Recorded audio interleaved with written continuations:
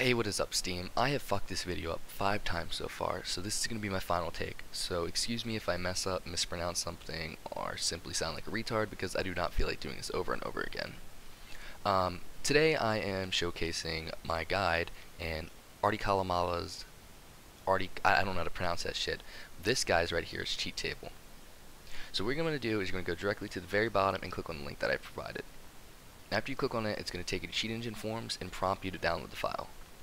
After you get the file downloaded, you're going to open it up and also have Portal Knights open.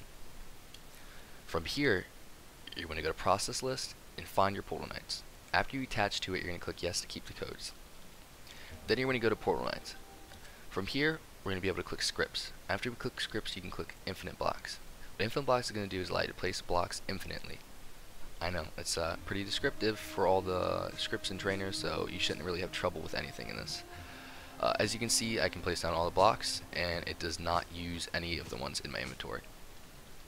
Uh, next what we're going to do is we're going to mess with the player script. So you're going to go to player, and we're going to do XP. So you're going to check off the XP, and you can change the value whatever you want it to be. We're just going to change it to 999. Alright, maybe 9999. There we go. And as you can see, I leveled up a few times. Um, there's tons of different things you can do. So you can edit all the stats, including health regen, your leech, your crit chance, your agility, your additional strike chances, your double jump.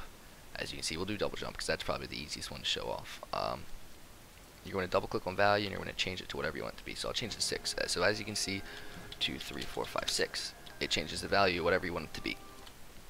We also got inventory editing.